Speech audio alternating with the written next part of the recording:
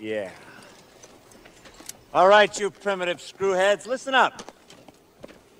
See this? This is my boomstick!